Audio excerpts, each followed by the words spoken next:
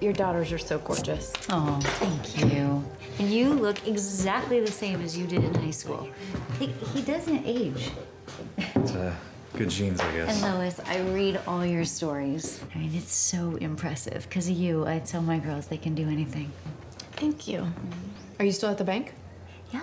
And Kyle's still at the firehouse, made fire chief last year, and everybody else we know moved away. She means bailed. Luick? Twin Cities. Sippy? St. Louis. Maybe you'll see him at the next reunion. Kent didn't make it to the last one now, did he? Uh, I was supposed to, but we. You know, it uh, used to be that uh, when folks move away to get their degrees, well, they'd bring their skills back home, take care of the communities, help raise them, you know. That ain't happening anymore.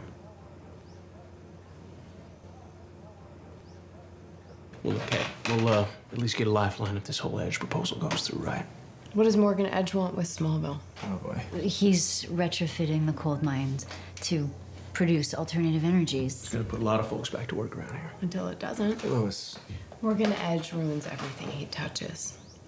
What's he ruined? He is single-handedly destroying the Daily Planet. People quit reading that paper because uh, you reporters can't keep your politics to yourselves. Edge's companies prey on struggling communities. He busts up unions. He barely pays a living wage. I don't understand how he can keep fooling people. Oh, you mean us dumb, backward, small town folk?